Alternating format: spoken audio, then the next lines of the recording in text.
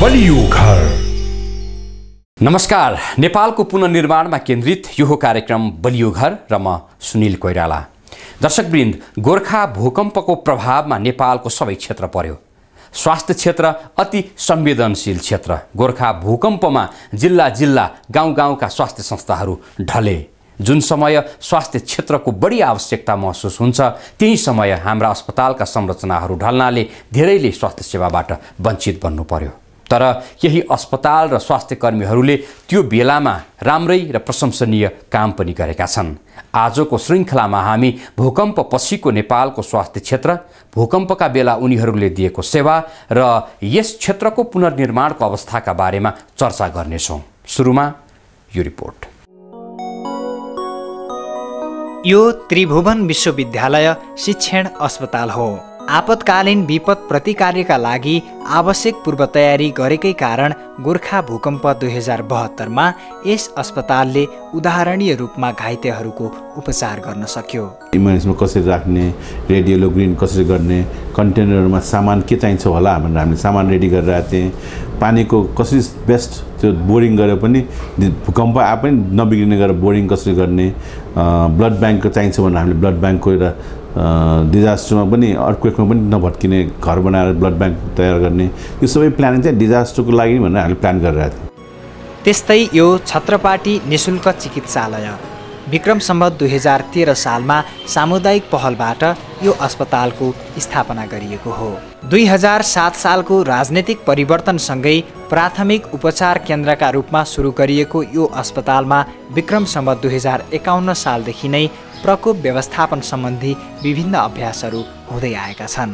तालिमकै सन्दर्भमा हामीले के सोच्यौँ भने यो त समुदायको चाहिँ प्रपर्टी हो र समुदायलाई चाहिँ आपतकालीनको अवस्थामा यसले सेवा दिन सक्नुपर्छ। भन्दाखेरि भिचालोको समयमा बिरुष्टालो होइन कि यहीँ आइपुग्छ भन्ने हिसाबमा हामीले त्यो त्यो एक्सर्साइज गरेँ।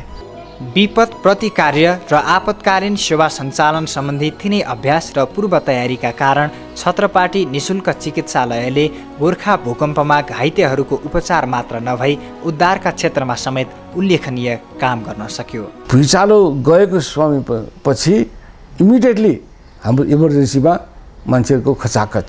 पुरानो बिल्डिङ प्रबलीकरण नगरेको भए हामी कहाँ चाहिँ आउने यो हाम्रो इमर्जेन्सी वार्डमा जाने। भाटी बन्नुहुन्थ्यो प्लस चाहिँ नि हामीले चाहिँ चौबिस घन्टाको चाहिँ इमर्जेन्सी सेवा नदिएको भए खालि चाहिँ एउटा क्लिनिकको रूपमा मात्रै हुन्थ्यो। छत्रपाटी निशुल्क चिकित्सालयका अध्यक्ष डाक्टर विजय बहादुर मालीले यहाँको सबैभन्दा पुरानो भवन वीर गणेशमान भवनको प्रबलीकरण गर्दा कसैले राम्रो नमानेको बताए। जगदेखि हामीले चाहिँ नि त्यो बिल्डिङलाई चाहिँ प्रबलीकरणमा हामी गऱ्यौँ। त्यो समयमा धेरैले हामीले गाली गऱ्यौँ यस्तो राम्रो बिल्डिङलाई केही तात्तने साह्रो जगदेखि भित्र अब ग्राउन्ड फ्लोर सबै गऱ्यौँ। सुरुमा जो व्यक्तिहरूले चाहिने नचाहिने काम वायत खर्च गर्यो भने भन्नेहरू भिजालोपछि यो बिल्डिङ त चाहिँ बलियो रहेछ भनेर हस्पिटलमा चाहिँ सूचना आयो। विपदका बेला तत्काल चाहिने भनेको स्वास्थ्य सेवा नै हो। तसर्थ स्वास्थ्य संस्थाहरू विपदका बेला पनि सञ्चालनमा आउन सक्ने गरी तयारी अवस्थामा रहनुपर्छ। यसका लागि हरेक अस्पतालका सबै भवन संरचनाहरू अस्पतालकै मापदण्ड अनुरूप बन्नु आवश्यक छ। साथै आपतकालीन सेवाका लागि सचेतना र पूर्व तयारी त अनिवार्य नै छ। प्लानिङ हुँदाखेरि नि पहिल्यै भएको ठाउँमा त्यो बनाउने गएर कति फाइदा छ अब? त्यो कति कम्युनिटी मान्छेहरूलाई सर्भिस दिन सक्छ? र अर्को कुरा स्वास्थ्य हेल्थ पोस्टमा त्यहाँ राखेर अरू सबै मान्छे नपुग्ने भए के फाइदा छ? अलिकति रुरल प्लानिङ पनि गर्नु पर्ला कि? चाहिँ हस्पिटलहरू घरमा चाहिँ हस्पिटल खोल्छ। त्यो गलत हो। किनभने हस्पिटलको मापदण्ड छुट्टै हुन्छ। उसको चाहिँ स्ट्रक्चरलको चाहिँ कोड छुट्टै हुन्छ। अप्रत्याशित हुने दैवी प्रकोप कति बेला हुन्छ कसैलाई थाहा हुँदैन। र यसको लागि हामीहरूले अवेरनेस भइराख्नुपर्छ। र आफू चाहिँ बच्ने र अरूलाई पनि बचाउने उपाय हामीहरूले सिक्नु पर्दो रहेछ। अब बन्ने अस्पतालहरू संरचनागत हिसाबले भूकम्प प्रतिरोधी र व्यवस्थित बन्नै पर्छ। यससँगै गैर संरचनात्मक वस्तु खुला ठाउँ र विपद प्रतिकार्यका दृष्टिले समेत ध्यान दिई स्वास्थ्य क्षेत्रको पुनर्निर्माण गरिए ती अस्पतालहरू विपदमा साँच्चै उपयोगी बन्न सक्नेछन्। एउटा स्ट्रक्चरको कुरा भइहाल्यो। संरचनात्मक रूपमा सुरक्षित बनाउनुपर्छ। अर्को कुरो के भने स्वास्थ्य क्षेत्र भनेको सबैको पहुँच पुग्नु सक्ने खालको हुनु पऱ्यो त्यसमा एउटा कुरा के भने अपाङ्ग अपाङ्ग मैत्री बनाउनु पऱ्यो अर्को कुरो के हो भने अघि मैले भने जस्तो त्यो बनाउँदैखेरि के गर्नु पऱ्यो भने त्यसरी बनाउनु पऱ्यो कि जसले गर्दा यो गैर संरचनात्मक चिजबिजहरूलाई फेरि दोहोरो किसिमले बनाउनु नपरोस्। होइन? पहिले नै कतिपय कुराहरू चाहिँ वालमै एट्याच गर्नु सक्ने चिजहरू हुन्छ। कतिपय ठाउँहरूको चाहिँ लोकेसन मतलब कुन ठाउँ कहाँ राख्ने भन्ने कुरा पहिले नै प्लान गर्नु सकिन्छ। अनि त्यस पछाडि एनफ अथवा चाहिँ प्रशस्त ओपन एरियाहरू खुल्ला ठाउँहरू हुनु पऱ्यो जसले गर्दा भोलि इभ्याकुएसहरू अथवा चाहिँ मास क्याजुअलिटीको बेला घाइतेहरू आयो भने त्यो सर्टिङ गर्नु सकियोस् अथवा प्रायोरिटाइज गर्नु सकियोस्। त्यस पछाडि चाहिँ अर्को हजारस मेटेरियल्सहरू कहाँ राख्नुहुन्छ कहाँ राख्नु हुँदैन। जस्तै अक्सिजन सिलिन्डरहरू भयो फायर एक्सटिङ्ग्विसरहरू भयो अथवा चाहिँ पावर जेनेरेटरहरू भयो फ्युल स्टकको कुराहरू भयो त्यो कुराहरूको डिफाइन एरिया हुनु पऱ्यो कि यो सबै कुरो चाहिँ हाम्रो के हुनु पऱ्यो भने एउटा डकुमेन्टेड हुनु पऱ्यो यो प्लान हुनु पऱ्यो जसले गर्दा भोलि व्यक्तिले होइन कि सिस्टमले गाइड गरोस्।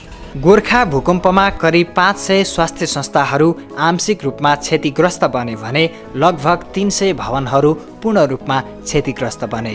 भूकम्पपछि सरकारले विभिन्न सङ्घ संस्था तथा निकायहरूसँगको सहकार्यमा स्वास्थ्य सेवा सञ्चालनार्थ दुई सय बढी प्रिफ्याबका अस्थायी भवनहरू निर्माण गरेको छ।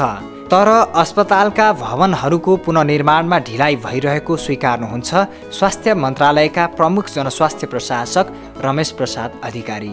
धेरै ढिला भयो। स्वास्थ्यले आफैले तीव्र गतिमा स्वास्थ्य संस्था बनाउने आफ्नै यहाँ एउटा इन्जिनियरिङ युनिट होस् भन्ने हिसाबमा स्वास्थ्यको चाहना थियो। यो निर्णय हुनलाई धेरै समय लाग्यो। अब बिस्तारै यो निर्णयले एउटा कार्यदिशामा जाने अवस्था रहेको छ। त्यो हिसाबमा अब जनशक्ति भर्ना गरेर हामीले अगाडि काम गर्नुपर्ने अवस्था छ। पिआइयु हुनलाई धेरै समय लाग्यो। अहिले पनि यो एकदमै फाइनल भइसकेको अवस्था छैन। विपदको उच्च जोखिममा रहेको नेपाल जस्तो मुलुकका लागि स्वास्थ्य संस्थाहरू प्राकृतिक प्रकोप मैत्री हुनु अति नै आवश्यक छ। समुदायमा अनेक प्रकारका विपद जुनसुकै बेला पनि हुन सक्ने भएकाले स्वास्थ्य क्षेत्रको पुनर्निर्माण गर्दा नेपाल सरकार सचेत र गम्भीर हुनु जरुरी छ।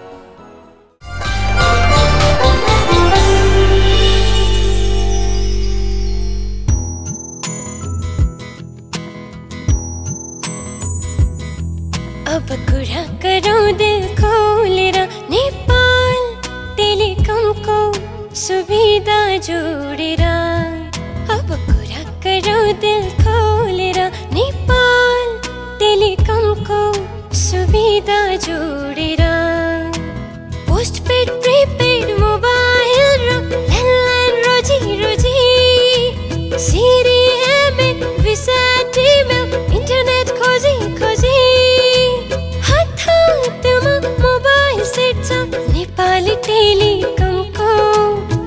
छिनछिनमा खबर आउँछ देश विदेश सबै ठाउँको। अब फास्टेस्ट इन्टरनेटको लागि चलाऊ नेपाल टेलिकमको फोर जी सेवा। नेपाल टेलिकम राष्ट्रको सञ्चार।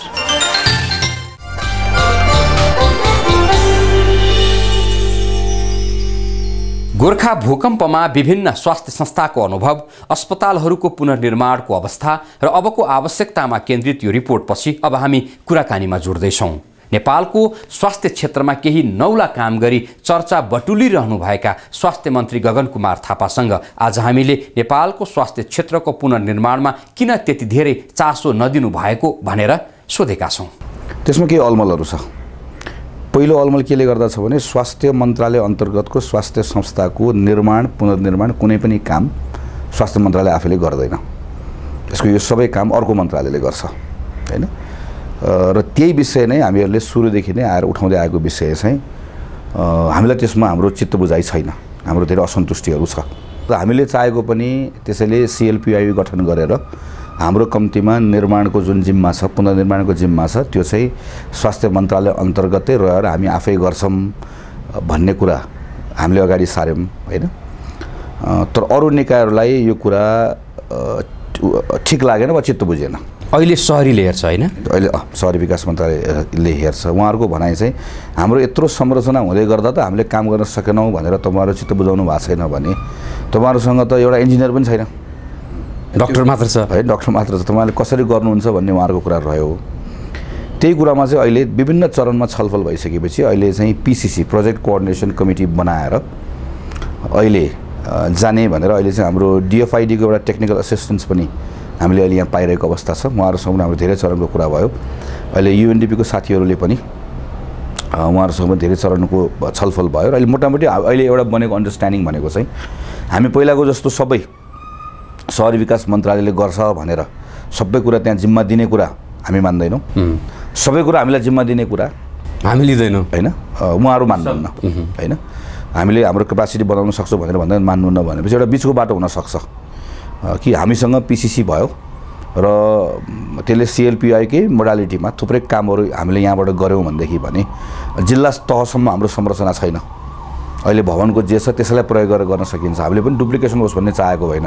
खालि चाहिँ हामीलाई चाहिँ के भने कामको गतिमा हाम्रो चित्त नबुझेको हो। यो मन्त्रालयसँग अथवा प्राधिकरणले जुन सिएलपिआइयु गठन गरेर स्वास्थ्य क्षेत्रको संस्थाहरूको पुनर्निर्माणको लागि स्वास्थ्य मन्त्रालयलाई जिम्मा दिएन नि त्यही कारणले गर्दा पनि यहाँले त्यति अनिच्छा देखाउनु भयो होइन पुनर्निर्माणमा हो।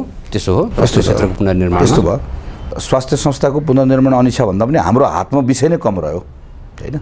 कसरी भनेदेखि भने चाहिँ हामीहरूले निर्माण पुनर्निर्माणको कुनै पनि कुरा हामी यहाँ बैठकहरू चल्दै गर्दाखेरि हामीले भवन विभागलाई कुर्नुपर्छ। उहाँहरूले आएर रिपोर्ट दिनुहुन्छ हामी यो काम गरिरहेको छौँ यो काम गरिरहेको छौँ अनि हामी प्रत्येकचोटिको उहाँहरूको स्ट्रक्चर मन नपर्न सक्छ। होइन होइन हामी- होइन हामी प्रत्येकचोटिको बैठकमा अनि काम ढिलो भयो यो भयो भनेर हामी क्वेसन्सहरू उठाउँदै गर्दाखेरि जहिले पनि उहाँहरूको त्यसमा जवाफ के रहन्छ भने जति गरेको छ यतिमा चित्त बुझाउनुहोस्। यो नै पनि धेरै ठुलो कुरा हो। योभन्दा बढी तपाईँहरूले अपेक्षा गर्ने कुरा नै पनि उपयुक्त छैन। भन्ने खालको कुराहरू जहिले पनि मैले आएदेखि बैठकमा त्यही कुराहरू सुनिरहेको छु। त्यही भएर हामीले त्यसलाई त एन्डेक्टमा पनि लिएर गयौँ विभिन्न ठाउँमा लिएर गयौँ हामी मान्दैनौँ यसरी भनेर। किन हाम्रो कन्ट्रोलमै छैन? होइन। स्वास्थ्य संस्थाले समयमा नबन्दै गर्दा पुनर्निर्माण नहुँदै गर्दा त सर्भिस प्रभावित त स्वास्थ्य मन्त्रालय अन्तर्गत सर्भिस प्रभावित भयो नि त। होइन।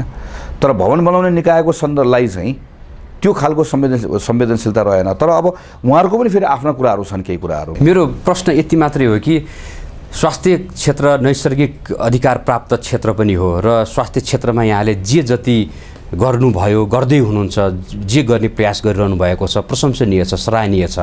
त्यो गर्दै गर्दा पुनर्निर्माणप्रति चाहिँ किन गगन थापाले त्यति धेरै इच्छा देखाएन भन्ने प्रश्न चाहिँ हामी यस क्षेत्रमा काम गर्ने पत्रकारहरूले उठाउने सोच्ने र खोज्ने प्रश्न रह्यो।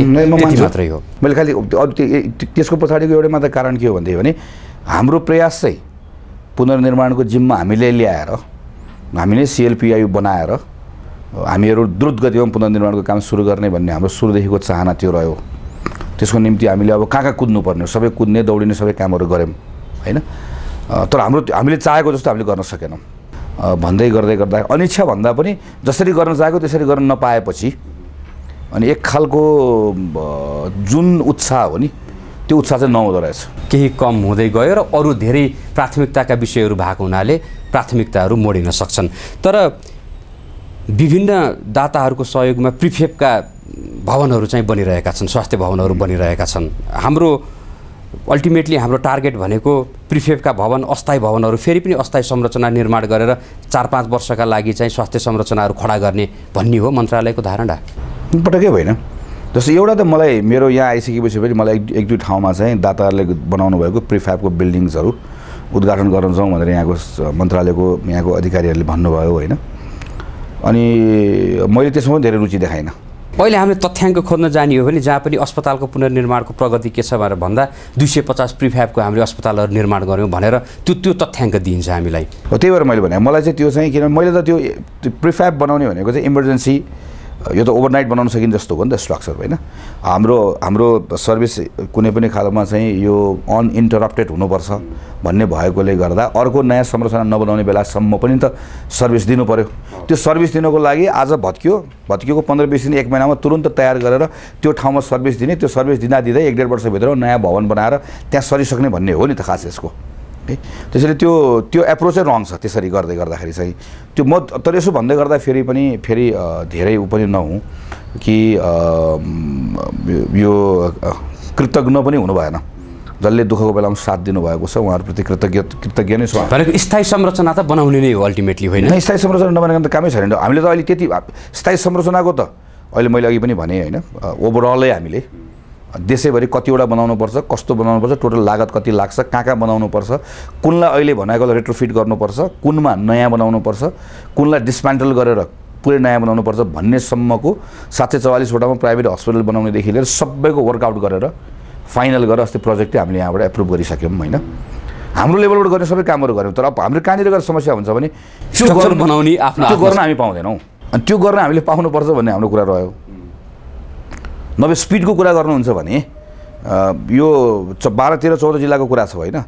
पचहत्तरै जिल्लाको कुन गाउँपालिकाको कुन चाहिँ अहिलेको हेल्थ पोस्टलाई अपग्रेड गरेर त्योलाई चाहिँ प्राइमेरी हस्पिटल बनाउने कसलाई सेकेन्डरी हस्पिटल बनाउने भन्नेसम्मको सबै टुङ्गो लगाएर यो ठाउँमा यस्तो हुन्छ। त्यस बिजा इभन नक्सासहित।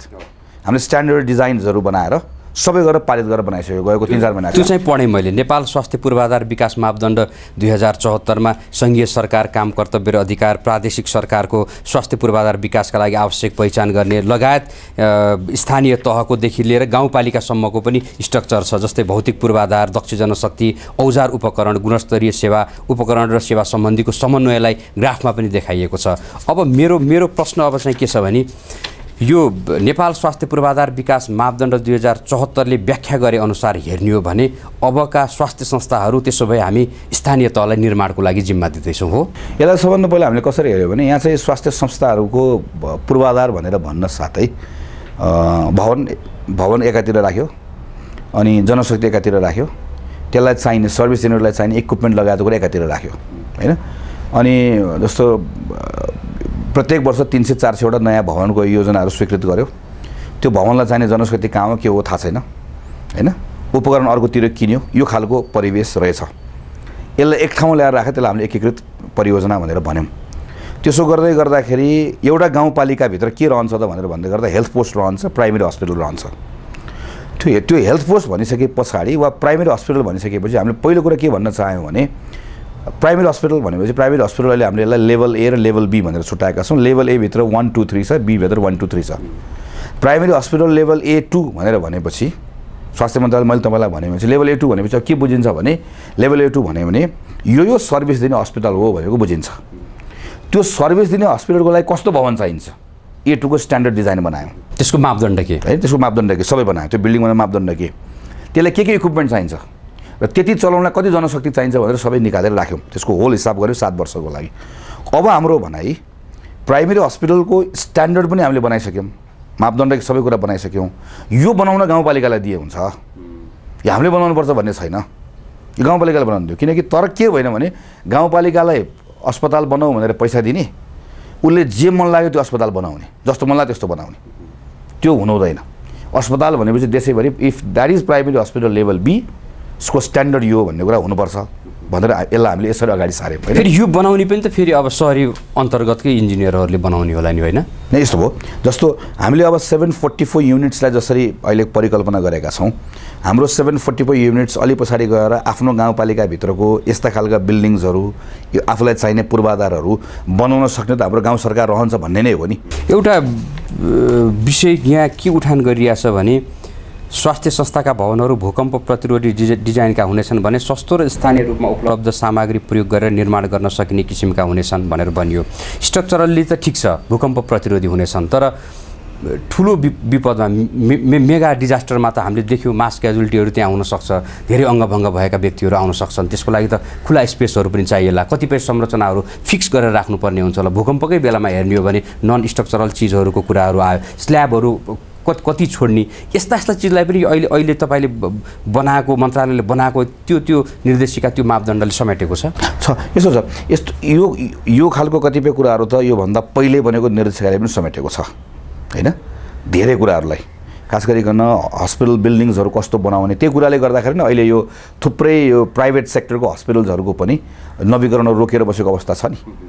किन भने यो यो त अझ भूकम्प आउनुभन्दा पहिल्यै भएको यसले मात्र कहाँ रोकिया होला र स्वास्थ्य ऐन निर्देशिका यहाँले भनेकोलाई आधार मानेर हेर्ने हो भने त हाम्रा अझै अझै सरकारी मात्र नभएर निजी अस्पतालहरू त कुनै पनि मापदण्डमा पर्दैन। मैले लाग्छ मलाई।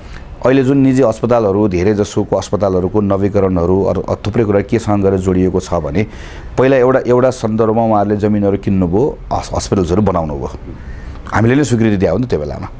त्यसपछि गएर एउटा ठाउँमा पुगिसके पछाडि यस्तो हुँदैन है।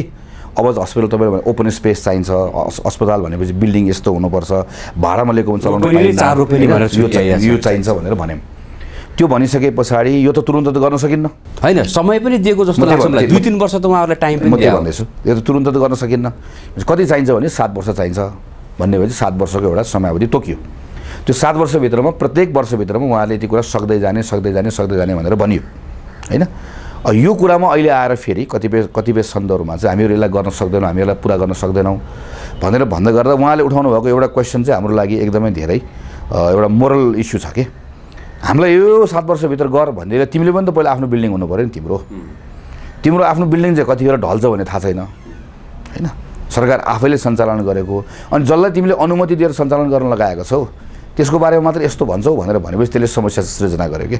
गरेपछि अब हामीले त्यस कारणले गर्दा पनि हामीले इन्टिग्रेटेड इन्फ्रास्ट्रक्चर डेभलपमेन्ट प्रोजेक्ट बनाउँदै गर्दा ब्याक अफ द माइन्ड के राख्यौँ भनेदेखि भने चाहिँ हाम्रो बिल्डिङ्सहरू भत्किएको ठाउँमा पुनर्निर्माण गर्ने मात्र होइन भएकोलाई रेट्रोफिट गरेर भए पनि हामीले भन्न सक्ने हुनुपर्छ। तपाईँले भनेको जस्तो नट ओन्ली बिल्डिङ यसको स्पेस होइन त्यो स्ट्यान्डर्ड डिजाइन बनाउँदै गर्दाखेरि अब कुनै ए भन्ने गाउँपालिकाले हेल्थ पोस्ट बनाउँदै गर्दा यसको बिल्डिङ यस्तो हुनुपर्छ कम्तीमा अगाडिपट्टि जग्गा यस्तो हुनुपर्छ नन स्ट्रक्चरल कुरा यस्तो हुनुपर्छ सबै कुरा यसमा छ।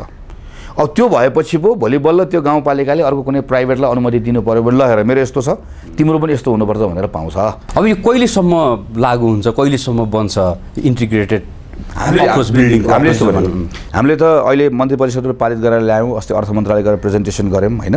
त्यो सबै कुरा गरेपछि उहाँहरूले यही यही पालिबाट यसलाई बजेटमा राखेर लिएर गएर हामीले अहिले प्रस्ताव गरेको चाहिँ सात वर्ष हो।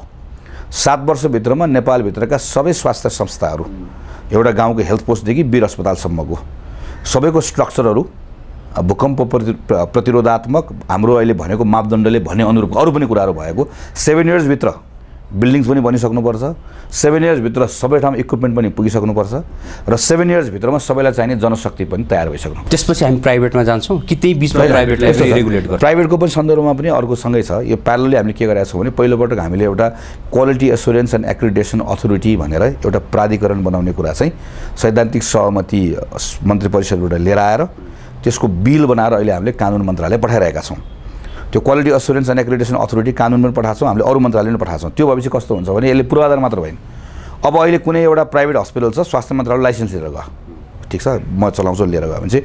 अब निरन्तर रूपमा त्यो प्राधिकरणकोले चाहिँ त्यो लाइसेन्स लिएर गएकोको भौतिक पूर्वाधार ठिक छ कि छैन भूकम्प प्रतिरोधक छ कि छैन अरू पनि सर्भिस भनेको अनुसारको क्वालिटीको छ कि छैन भन्ने कुरा चाहिँ लगातार त्यो प्राधिकरणले हेर्छ। र एक एक वर्षमा हुने नवीकरण चाहिँ उसले रोक्न सक्छ। सबै उसले त्यो त कुनै कुनै खालको विपत्ति परेर आउँदै गर्दा अस्पताल ठडिएर चल्छ कि चल्दैन भन्ने कुराको ग्यारेन्टर त को भन्दा ग्यारेन्टर त सरकार हो नि त। मन्त्रालयको जिम्मेवारी सम्हालेर मन्त्रीको चेयरमा बसेर जे योजनाहरू बनाइरहनु भएको छ नि। हाम्रा संरचनाहरू हाम्रो त्यो त्यो बिल पास हुने कुराहरू त्यो नीति नियम कानुन लागू हुने कुराहरू हाम्रा अघि मैले भने संरचनाहरू अब यसलाई निर्माणको क्रममा जाँदा त्यही हाम्रो खरिद ऐन त्यही होला प्रक्रिया त्यही होला टेन्डरिङ त्यही होला हाम्रा ठेकेदारहरू त्यही होलान्।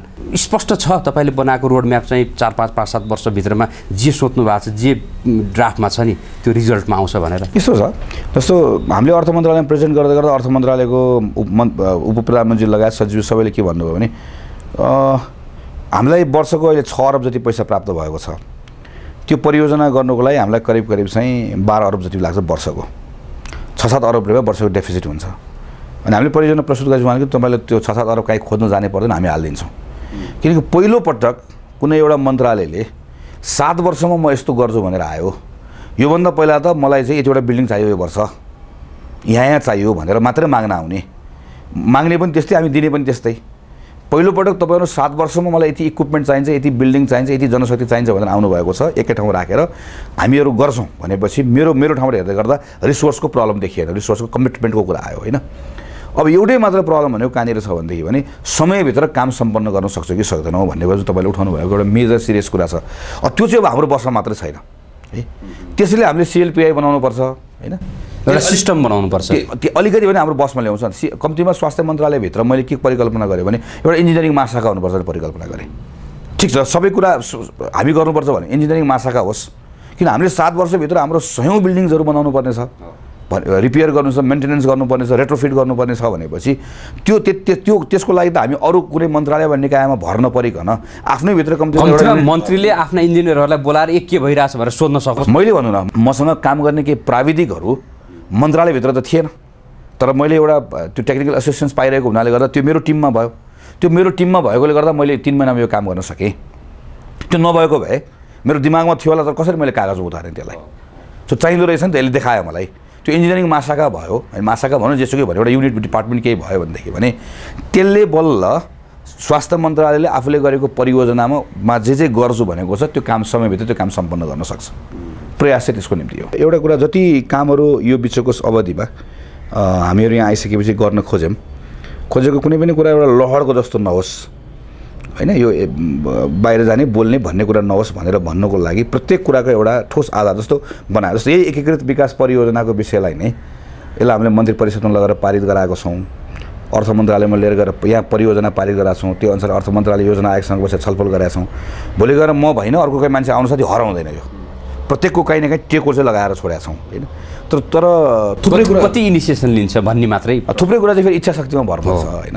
इच्छा शक्ति भनेको नै जस इच्छा शक्ति राख्ने नेतृत्व आउँदै गर्दा योभन्दा पहिलाको मन्त्रीले आएर कुराहरू धेरै गरेछ तर के कुनै पनि कुरा राम्रोसँग संस्थागत नगरिकन भन्ने चिज छैन। छोडेर छोडेर गएको छ। सबैको निर्देशिका बनाउनु पर्नेको निर्देशिका धेरै जसोको त मैले ऐनै बनाएर त्यसलाई पार्लियामेन्टमा पुऱ्याएको छु वा कम्तीमा चाहिँ अरू मन्त्रालय पुऱ्याएको छु सबैको आधार बनाएको छु। त्यसले भोलि भोलि आउने साथीहरूलाई सजिलो हुन्छ। हस् यो समय दिनुभयो र स्वास्थ्य क्षेत्रमा जे गर्नुभयो जे गर्न खोज्दै हुनुहुन्छ त्यसमा आम जनताले साँच्चै प्रशंसा पनि गरिरहेकै छन्। रिजल्ट त यहाँले सुरुमै भन्नुभएको थियो बिस्तारै देखिँदै जाने चिज हो। आधार संरचना नीति कानुन नै सबैभन्दा डह्रो बनाएर गइयो भने अघि भने जस्तै भोलि आउने व्यक्तिले पनि त्यसमै टेकेर काम गर्न सक्छ भनेर भन्नुभयो। त्यो आधारहरू करिब करिब बनाउनु भएको छ। यहाँको यो जुन आत्मविश्वास र प्रतिबद्धताले पनि त्यो बोलिरहेको छ। त्यसको लागि धन्यवाद छ। आगामी भविष्यको लागि शुभकामना छ। धन्यवाद।